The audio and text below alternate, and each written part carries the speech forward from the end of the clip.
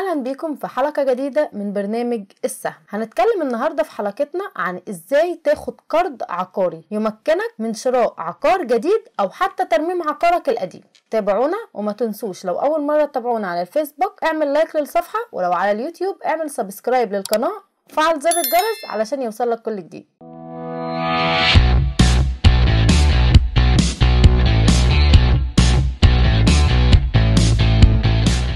بنك عودة القرض العقاري اللي يمكن من شراء منزل أو ترميم العقار القائم فيه أو التمكن من امتلاك عقار لقضاء وقت الأجازة أو الاستثمار في قطاع العقارات للحصول على أفضل عائد طب إيه هي مزايا القرض ده؟ مزايا القرض العقاري بتكون بتبدأ من 50 ألف جنيه وأسعار الفائدة فيها تنافسية وبتمويل يصل ل 75% من قيمة العقار وبتكون فيه أطول فترة سداد عشان بتصل ل 20 سنة أما عن عمر المقترض فبيبدأ من 23 عام حتى 60 عام وده للموظفين و27 عام حتى 56 عام لأصحاب الأعمال والمهن الحرة أما بالنسبة للوحدات اللي يمكن تمويلها وهي العقارات المسجلة والعقارات القابلة للتسجيل والعقارات اللي بتقع داخل المجتمعات العمرانية الجديدة. أما عن المستندات المطلوبة فللموظفين صورة من بطاقة الرقم القومي سارية أو جواز سفر ساري وإثبات محل العمل أو الإقامة. أما عن أصحاب الأعمال الأخرى فهيكون معاه صورة من بطاقة الرقم القومي وبتكون سارية برضه وجواز سفر ساري وإثبات محل العمل أو الإقامة وكشف حساب بنكي